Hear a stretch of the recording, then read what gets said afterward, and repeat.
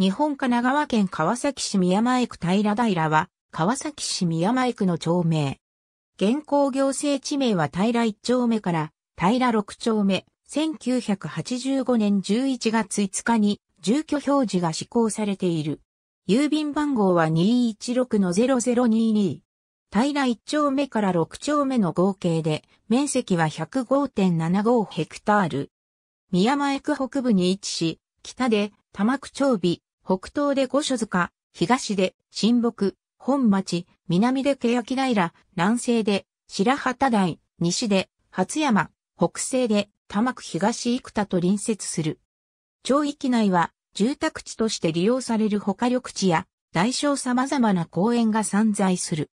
住宅地の地価は2014年1月1日の工事地価によれば平4から17から45の地点で18万4千円平方メートルとなっている。戦国時代には見える地名。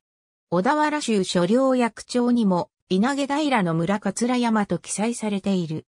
江戸時代後期成立の新編武蔵風土機構には平という地名は桂山平殿という人物が領主だったことから北という伝承を載せているが人名が地名になったかは疑わしい。2017年12月31日現在の世帯数と人口は以下の通りである。私立小中学校に通う場合、学区は以下の通りとなる。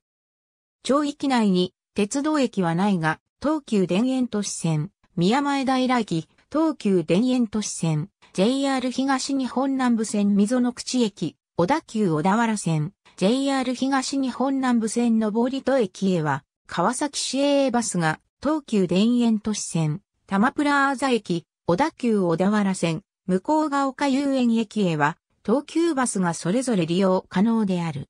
川崎市営バスの停留所、白旗八幡前泊まりの臨時深夜バスが運行されることがある。関下からは、東霊後系統上りと駅行きの始発便もわずかながら発着している。2016年8月1日から綿83、京東玉プラーザ駅向が丘遊園駅間の川崎市営東急バス路線が新設され、これに伴い白旗八幡前バス停が新設された。ありがとうございます。